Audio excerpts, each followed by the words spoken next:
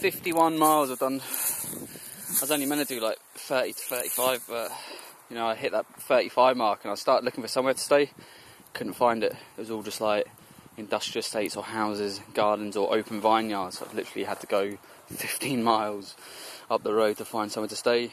But luckily I just pulled in, found this like little nature walk and I'm just going to basically just pitch up there and chill out because I'm knackered, thirsty and starving. I just want to tuck into my book and chill out. So that's what I'm going to do. So till tomorrow, ciao.